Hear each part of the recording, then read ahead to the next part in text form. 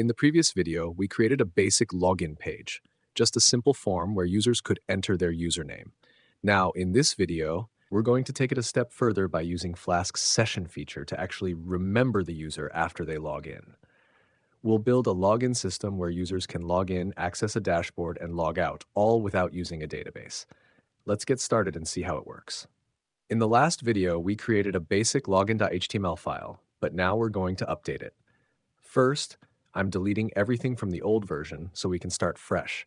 I'm adding a simple form where users can type their username and log in. That's it, clean and easy.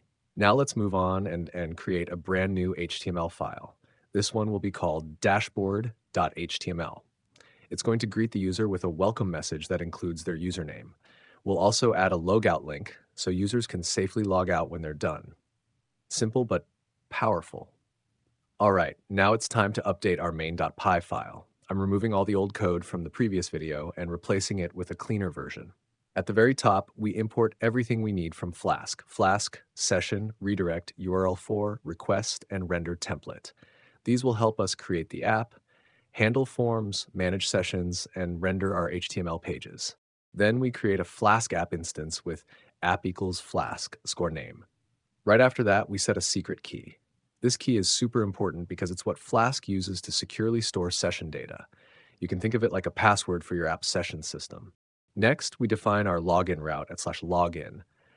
This route accepts both GET and POST requests.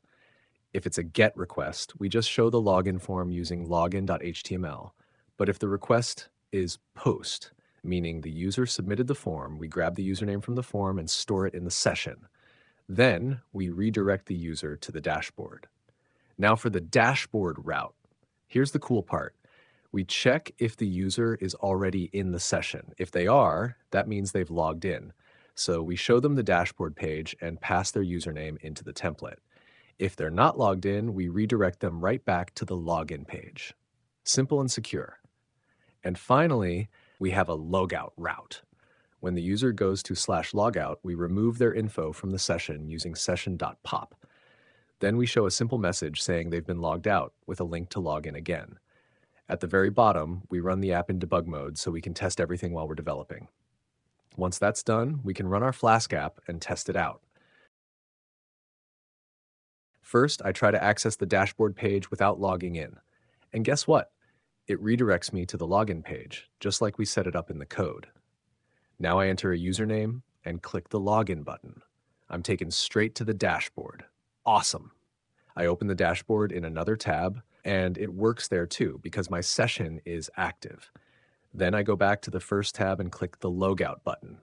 The session ends. When I refresh the second tab, boom, I'm logged out there too. Now I can log in again and both tabs will have access to the dashboard since I'm logged in again.